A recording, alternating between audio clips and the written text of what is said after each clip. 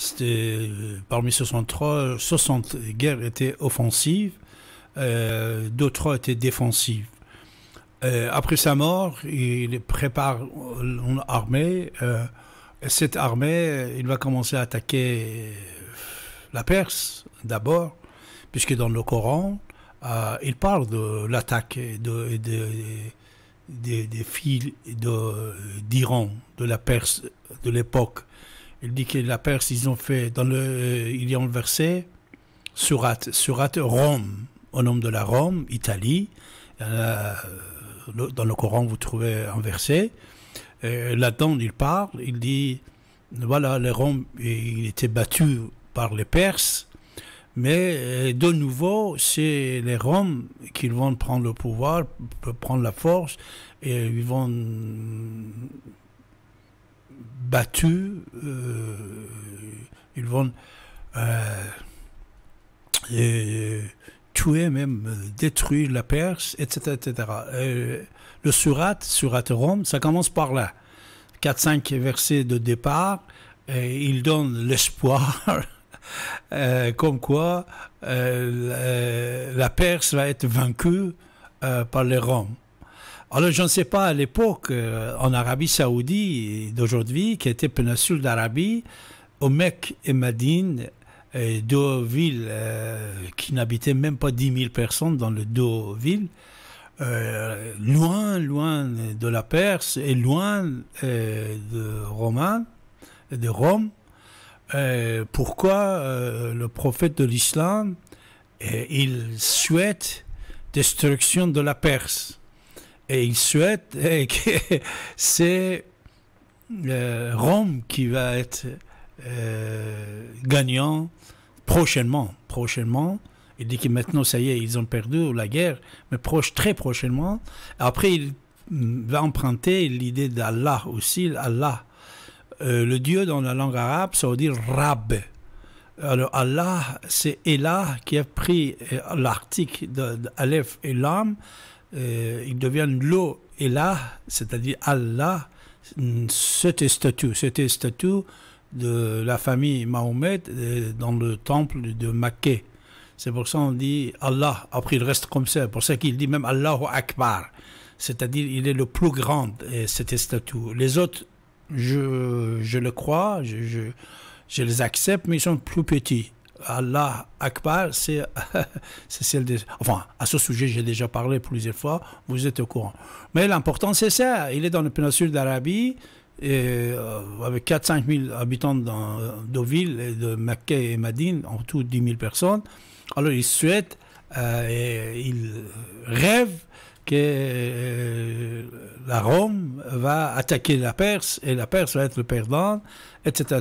Et cette idée, jusqu'à maintenant, ça continuait, c'est-à-dire cette idée de guérilla. C'est pour ça lui-même, euh, quand il est mort, le prophète de l'islam, l'armée qu'il avait préparée, il va attaquer la Perse. Pendant 200 ans, la guerre, ça va durer, c'est-à-dire les Perses, ils vont euh, résister pendant 200 ans. Alors, au moment que dynastie abbasside euh, a été créé, plus de 500 ans de pouvoir. Oh, ils vont arriver même jusqu'au nord d'Afrique, un grand royaume de l'islam. C'est l'époque de Mille et une. Et Fatimiyin, c'était le concurrent, le cousin des Abbassides.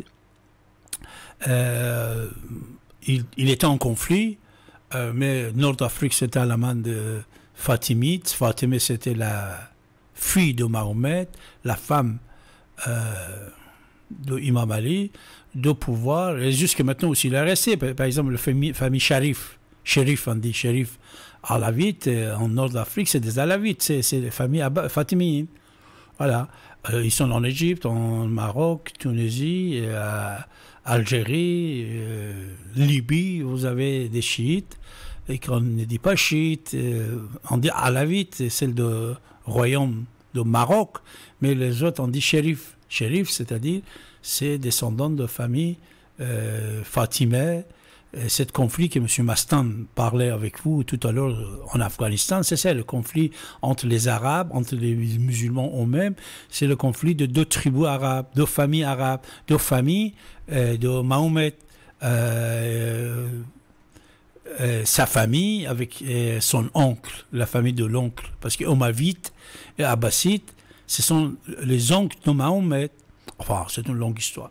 Mais ça, ça a continué les guerres euh, pendant deux siècles, jusqu'à maintenant aussi, même avant de notre ère.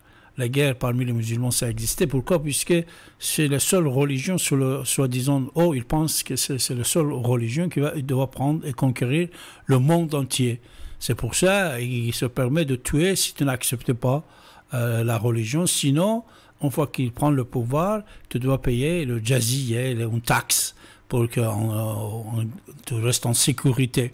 C'est une longue histoire. C'est danger, de toute façon, malheureusement, euh, on n'a pas senti ce danger dans l'idéologie. Aucun rapport avec les individus musulmans. Les individus musulmans, c'est des êtres humains, gentils, humains, comme moi et comme vous et comme tout le monde. C'est l'idéologie qui fabrique des terroristes. Alors, vous avez entendu en Allemagne, euh, à droite, à gauche, toujours il y a des attaques. Après, on dit, oh, le gars, ce n'était pas non. Quand il y a fatwa officiel qui est sorti contre l'Occident depuis 14 siècles, depuis 14 siècles, il dit si tu n'es pas musulman, tu es kafar. Et quand tu es kafar, on a autorisé de te tuer. Parce que si, tu, même, par accident, dans les pays musulmans, si vous, euh, tuez quelqu'un euh, qui n'est pas musulman, euh, vous n'êtes pas puni comme si vous tuez un musulman. Ah, ce sont des choses que vous ne savez pas ici, on ne dit pas, on ne parle pas. Même les musulmans eux-mêmes, est-ce qu'ils ne savent pas?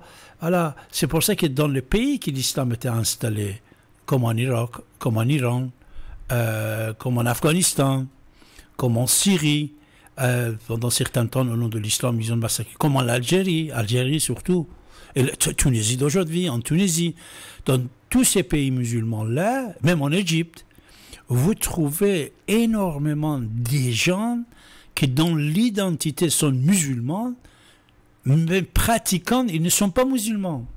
Ils ne pratiquent plus l'islam. Ils ne sont plus musulmans. Ils sont des millions dans tous ces pays-là. Où il suffit de voyager, de regarder, d'écouter. En Afghanistan, actuellement, allez-y voir les grands artistes, femmes et hommes, face aux femmes avec burqa, femmes face aux talibans, face aux autres mouvements islamistes, face à la République islamique d'Afghanistan. Le peuple s'est veillé. C'est un autre peuple, comme le peuple musulman qui sont ici. Euh, euh, le musulman, il y a 7 millions ou 10 millions. Euh, parmi tous ces gens-là, vous voyez, quand on dit fichier S, on dit il y en a 20 000, 30 000, maximum prenez 50 000 personnes. Euh, ils sont très très peu, ces gens-là, qui croient à, pratiquer l'islam. Alors quand tu pratiques, bien sûr, tu dois pratiquer djihad aussi. Hein. si c'est un musulman qui est pratiquant, euh, il ne faut pas tomber dans le piège de mensonge. Hein. Euh, pratiquant, c'est-à-dire vous avez certaines règles que vous devez respecter. Il y a djihad aussi dedans. Malheureusement, malheureusement. Il y a dans le Coran, j'avais déjà parlé dans plusieurs de mes livres, j'ai écrit euh, tout ça depuis 40 ans. Ce n'est pas celle d'aujourd'hui. Mes ancêtres, ils ont écrit depuis 1400 ans. On a dit, dans les pays musulmans, on dit depuis des, années. Dans tous les pays musulmans, vous prenez de Liban euh, jusqu'à Syrie, Jordanie, la Turquie qui n'est pas arabe, la Turquie. Alors, vous aviez des grandes, vous avez des grands écrivains comme Aziz Nessin qui était turc, laïque. Vous avez le président Atatürk en Turquie, qui était laïque. Vous avez le président Habib Bourguiba, qui était laïque en Tunisie. En Iran, vous aviez Reza Shah, qui était laïque. Mais malheureusement, tous ces gens-là, on les fait tomber, euh, tuer, euh, exclus de leur pays. Et après, le pays est tombé à la main des, islamistes. Et le massacre, et le massacre, et le viol, et je ne sais pas quoi, et marier les enfants dès l'âge de 9 ans, les filles. 9 ans, elle est mariée. 10 ans, 11 ans, 12 ans, elle est enceinte. Actuellement, ici et maintenant, je suis en train de parler avec vous dans le pays musulman.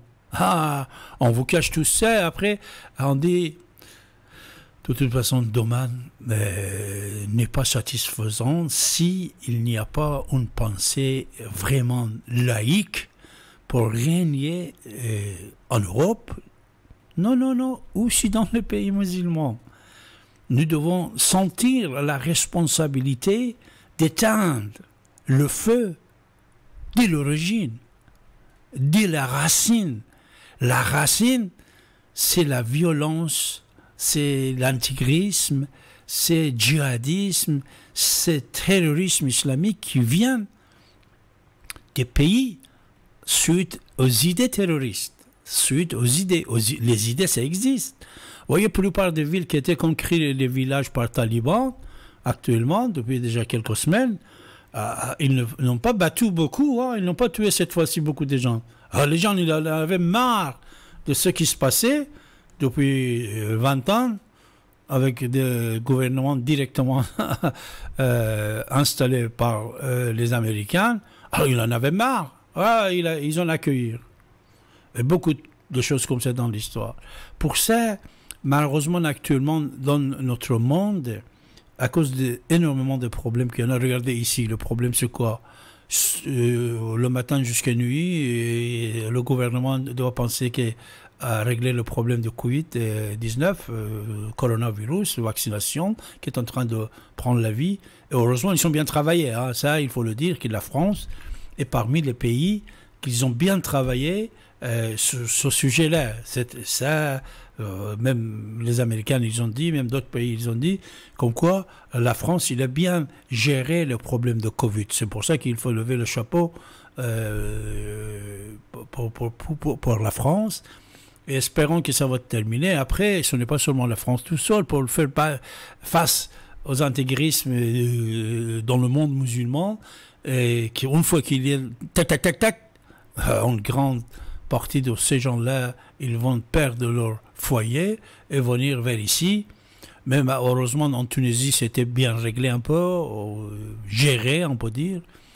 En Algérie, à l'époque des euh, Madani Abbasi et tous ces gens-là, les généraux, ils ont, enfin, pour étouffer ce danger, après Sissi euh, en Égypte, mais malheureusement, de l'autre côté, il y a des islams qui est en train de prendre l'islam politique. Euh, le part, c'est à partir de la Turquie, le Golfe Persique, Qatar, Arabie Saoudite, la République islamique d'Iran, et tout ça. Ah, euh, dans l'enjeu d'aujourd'hui en Afghanistan, tous les pays musulmans, les trois, Arabie Saoudite, Turquie, la République islamique d'Iran, tous les trois, ils sont dans le coup, ils sont dans le coup de donner le pouvoir aux talibans. Mais euh, en dehors de ce pays-là, ils sont contre. Ils sont en train de se battre. Euh, Yémen, Arabie Saoudite, par Iran, patati, Turquie, patata, patati. Mais dans le fond, dans le fond, ils sont tout à fait d'accord avec euh, euh de l'islam dans tous ces pays-là, prendre le pouvoir. L'islam, pour eux, c'est le point d'union. Les guerres, c'est les guerres familiales. Ça aussi, comprenez-le apprenez-le et, imaginez que vous devez en parler.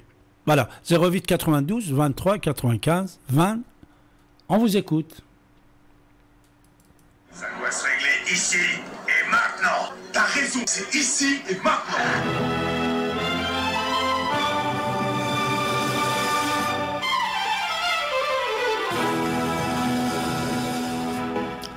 Vous êtes à l'écoute de la radio ici et maintenant sur 95 de FM et sur l'internet ici et maintenant.com.